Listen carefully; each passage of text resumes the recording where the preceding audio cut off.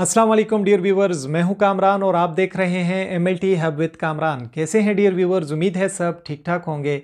आज की वीडियो का जो टॉपिक है, वो है रोबेला टेस्ट वक्त ज़ाय नहीं करते, शुरू करते हैं अपना topic rubella test dear viewers जो दोस्त मेरे चैनल पर नए हैं तो मेरे चैनल को कर दीजिए सब्सक्राइब और साथ में जो बेल का निशान है, उसे भी दबा दीजिए, ताकि हमारी हर आने वाली नई वीडियोस की नोटिफिकेशन आपको टाइम पर मिल सके। सबसे पहले हम ये जानेंगे कि रुबेला क्या है। रुबेला एक वायरल इन्फेक्शन है, यानी कि ये एक वायरस की वजह से होता है। रुबेला इन्फेक्शन को जर्मन मीजल्स भी कहा जाता है। रुबेला इन्फेक्शन को थ्री डेज़ मीजल्स भी कहा जाता है। अगर हम बात करें कि इस रुबेला इन्फेक्शन की वजह क्या चीज़ बनती है तो एक वायरस है जिसका नाम है रुबेला वायरस तो इस रुबेला वायरस की वजह से ये इन्फेक्शन होता है इंसानों में। अगर हम बात करें कि ये इन्फेक्शन जो रुबेला का वायरस है तो ये एक इंसान से दूसरे इंसान में कैसे मुंतकिल होता है?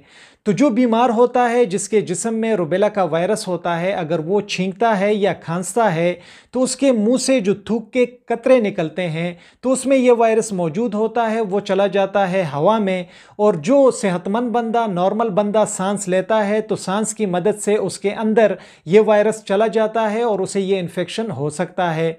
या अगर कोई सेहतमंद बंदा किसी बीमार रुबेला वायरस के मरीज़ का खाया हुआ खाना खाए या पिया हुआ पानी पिए तो ऐसे सेहतमंद लोगों में भी फिर इन्फेक्शन हो सकता है।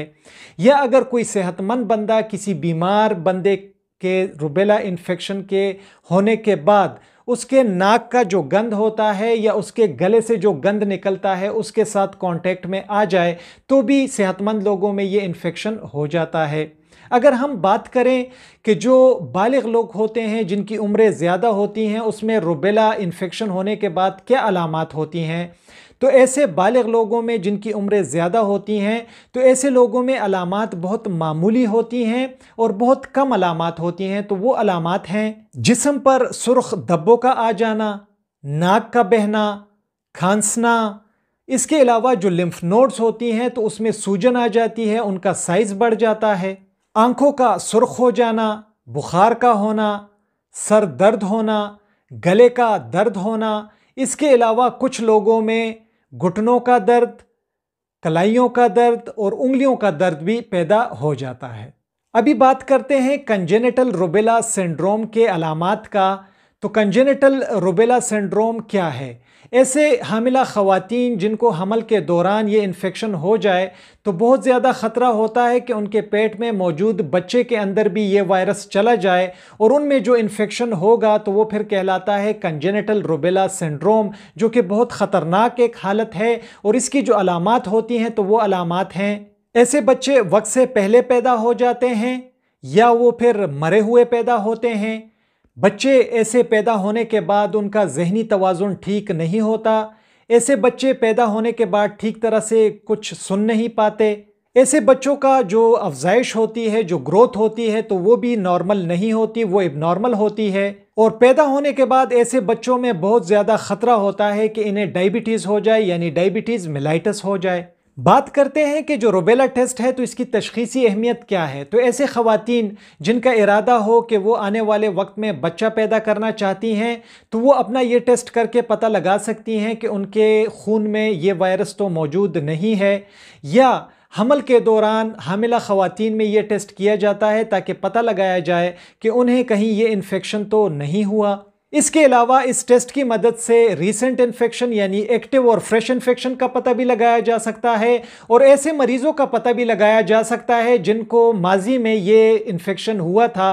तो ये टेस्ट उसके लिए भी बहुत मुफीद होता है। वो ख़वातीन जो ये वैक्सीनेशन कर लेती हैं और इसका वैक्सीन करती हैं तो वैक्सीन के बाद भी ये टेस्ट बड़ा फ़ायदा मंद होता है और हमें पता चल जाता है कि वैक्सीन के बाद इस वैक्सीन की वजह से जिसम में इम्यून सिस्टम डिवेलप हुआ है या नहीं हुआ, एंटीबॉडीज़ डिवेलप हुई हैं या नहीं हुई इस वायरस के ख़िलाफ़ तो उसके लिए भी ये टेस्ट बहुत फ़ायदा मंद होता है। बात करते हैं कि लेबॉर्ट्रीज़ में रुबेला इन्फेक्शन का पता लगाने के लिए कौन से टेस्ट किए जाते हैं। तो सबसे पहले नंबर पर है और जो बहुत ज़बरदस्त टेस्ट है, वो है blood IgM IgG detection by ELISA ELISA test की मदद से हम आईजीएम और आईजीजी एंटीबॉडी का पता लगाते हैं। जिन लोगों में आईजीएम एंटीबॉडी पॉजिटिव आती है तो इसका मतलब होता है कि उन्हें रिसेंट इन्फेक्शन हुआ है और एक्टिव इन्फेक्शन हुआ है। जिन लोगों के खून में आईजीजी का एंटीबॉडी पॉजिटिव आता है तो इसका मतलब होता है कि इन्हें माजी में इन्फेक्शन हुआ था और ये लोग इस इन्फेक्शन से रिकवर हो चुके हैं। इसके अलावा जो टेस्ट किया जाता है इस इन्फेक्शन के लिए तो वो मरीज़ के गले से या नाक से स्वाब लिया जाता है और फिर इसका वायरल कल्चर लगाया जाता है। वायरल कल्चर का टेस्ट इतना आसानी से दस्तियाब नहीं होता, इसलिए ज़्यादातर डॉक्टर जो टेस्ट प्रेफर करते हैं तो वो ब्लड आईजीएम और आईजीजी का टेस्ट ही होता है इलाइजा पर। अभी बात करते हैं कि इन एंटीबॉडीज़ का नॉर्मल रेंज खून में क्या होता है। तो जो आईजीएम एंटीबॉडी है, इसका नॉर्मल रेंज होता है लेस देन 0.9 इंटरनेशनल यूनिट पर एमएल और जो आईजीजी एंटीबॉडी है तो इसका नॉर्मल लेवल होता है लेस देन 7 इंटरनेशनल यूनिट पर एमएल अभी बात करते हैं कि रुबेला टेस्ट के लिए जो नमूना है, वो कैसे लिया जाता है और किस ट्यूब में लिया जाता है? तो तीन से पाँच एम खून का नमूना लिया जाता है रेड टॉप ट्यूब में या फिर जेल वाली ट्यूब में।